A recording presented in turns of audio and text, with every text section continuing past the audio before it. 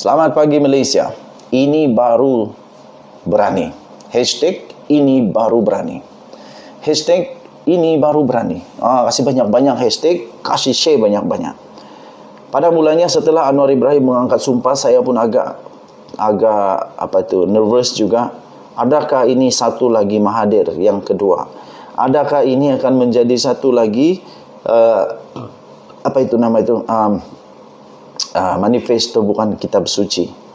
Tapi ternyata Datuk Sri Anwar Ibrahim adalah Datuk Sri Anwar Ibrahim. Ternyata Datuk Sri Anwar Ibrahim adalah orang yang berpegang kepada janji. Pertama sekali tuan-tuan dan puan-puan yang dihormati sekalian. Seperti apa yang diucapkan di dalam ucapan Rafizi Ramli. Rafizi kata dia dan Anwar jenis orang yang memang tidak takut untuk kehilangan apa-apa pun yang penting kebenaran harus ditegakkan. Mereka berani untuk menghadapi apa saja pun. Yang penting kebenaran harus ditegakkan. Yang penting negara Malaysia perlu diselamatkan.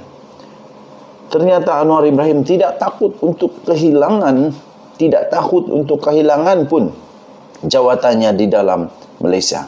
Termasuk dia tidak takut kehilangan jawatan Perdana Menteri. Dia tidak takut pun kehilangan uh, apa-apa jawatan di dalam apa-apa pun tempat. Dan seterusnya, dia pun sampai, kita sudah nampak macam mana Rafizi dan Anwar Ibrahim tak takut pun kalau mereka terpaksa untuk dipenjara hanya untuk kebenaran. Itulah ucapan Rafizi. Itulah ucapan Anwar Ibrahim. Dan hari ini kita dapati bahawa Anwar Ibrahim memang betul-betul tak takut. Ha, hashtag ini barulah berani. Ha, dia sanggup berani untuk pada pembukaan sidang parlimen nanti, dia mahu supaya undi percaya dibuat. Dan itu sendiri bukan permintaan daripada Mahyadin Mat Yassin. Bukan permintaan daripada Zahid Hamidi. Bukan permintaan daripada uh, Abang Johari. Bukan. Tapi ini sendiri, menurut laporan, menurut ucapan daripada Datuk Seri Anwar, kerajaan sendiri yang akan menyatakan, memohon usul itu. Nah, ini barulah berani. Hashtag ini barulah berani. Buat pertama kalinya di dalam Malaysia, tuan-tuan dan puan-puan, belum pernah ada. Walaupun Tun Mahathir yang sudah berkali-kali jadi Perdana Menteri itu, tak pernah dia berani buat begini. Mahyadin Mat Yassin tak pernah buat. Malah menurut artikel yang baru saja saya baca, uh, Mahyadin Mat Yassin uh, mau diuji keabsahan, nah gantung parlimen. Aduh, tuan-tuan dan puan yang dihormati sekalian. Datuk Sri Anwar Ibrahim sanggup untuk melakukan apa sahaja untuk semata-mata menyelamatkan Malaysia Nah, ini barulah. Ha, kalau ada cuba mempersoalkan Datuk Sri Anwar Ibrahim, saya fikir Datuk Sri Anwar Ibrahim siap sedia.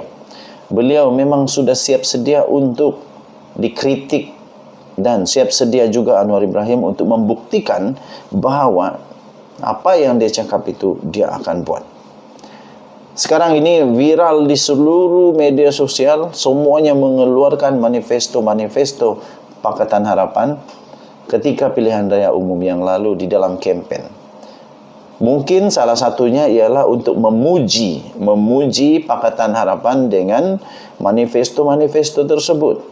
Tapi pada satu sisi yang lain pula, ini mungkin adalah cubaan untuk uh, mengingatkan semula, mengingatkan semula kepada mereka sama ada mereka ini Pakatan Harapan 2.0 yaitu apabila ada pemimpin Pakatan Harapan dulu kata um, manifesto bukan kitab suci. How dare you? Ha how dare you?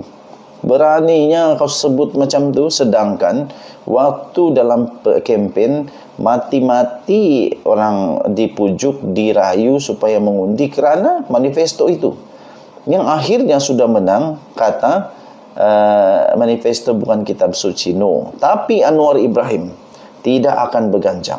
Banyak sudah bukti yang dia buat. Belum pun sehari dia uh, dia dia ada sebagai perdana menteri. Sudah ada bukti menyatakan bahawa dia akan berpegang teguh kepada janji kepada manifesto yang sudah dibuat ketika pilihan raya itu.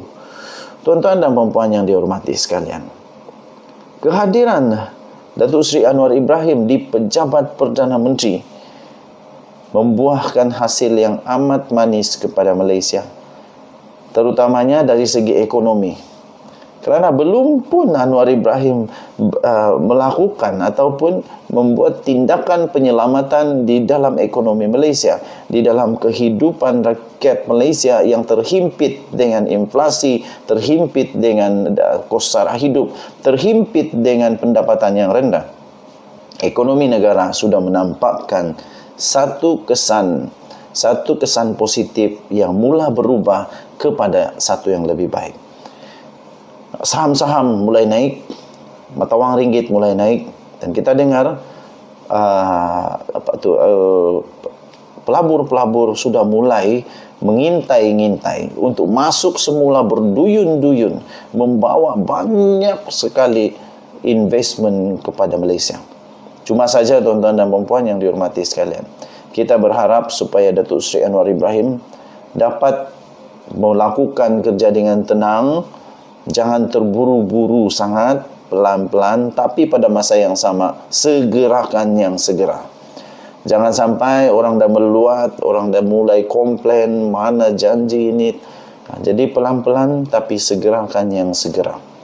Saya percaya rakyat Malaysia ramai rakyat Malaysia yang sedang menyokong Datuk Seri Anwar Ibrahim ramai rakyat Malaysia yang sudah lama untuk melihat mau melihat Datuk Seri Anwar Ibrahim jadi Perdana Menteri. Kita ramai orang mau melihat termasuk saya sendirilah saya mau melihat bagaimana jika Anwar jadi Perdana Menteri. Bukan kerana saya ini penyokong tegar Anwar tidak. Saya tidak pernah menyokong Anwar Ibrahim di dalam mana-mana kempen ke atau apa tidak pernah. Tetapi saya mau melihat bagaimana apa jadi kepada Malaysia jika Anwar Ibrahim menjadi Perdana Menteri. Sebab sudah selalu lama kita dengar dia punya teori, dia punya jalan penyelesaian, ini, ini, cadangan ini, ini, ini, jika jadi kerajaan. Dan kita lihatlah sekarang bagaimana kalau dia jadi Perdana Menteri. Apapun tahniah diucapkan kepada Datuk Seri Anwar Ibrahim, inilah yang rakyat, rakyat nantikan. Inilah yang rakyat mahukan. Ah, ternyata 80 lebih Uh, parlimen menyokong Anwar Ibrahim jadi Perdana Menteri 80 lebih parlimen menyokong dasar baru di dalam Pakatan Harapan. Okey jadi kita nantikan bersama-sama apa yang terjadi seterusnya. Dan yang tadi suara rakyat terus bergema di channel ini. Jangan lupa untuk tekan butang subscribe like dan share. Bye bye